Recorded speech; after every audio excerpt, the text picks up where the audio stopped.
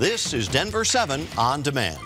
I'm Jacqueline Allen with the latest from Denver 7. The lives of Shanann Watts and her two daughters, Bella and Celeste, were remembered at a funeral in North Carolina today, nearly three weeks after they were killed in Frederick. Instead of flowers, the family is asking people to donate to the Lupus Foundation of America, the Frederick Police Department Missing Persons Division, or the St. Jude's Children's Hospital.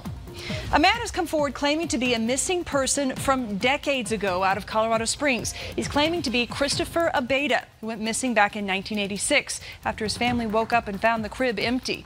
Right now, DNA testing is being done to see if there's a match. The Abeyta family says they're hopeful, but police plan to wait on the DNA.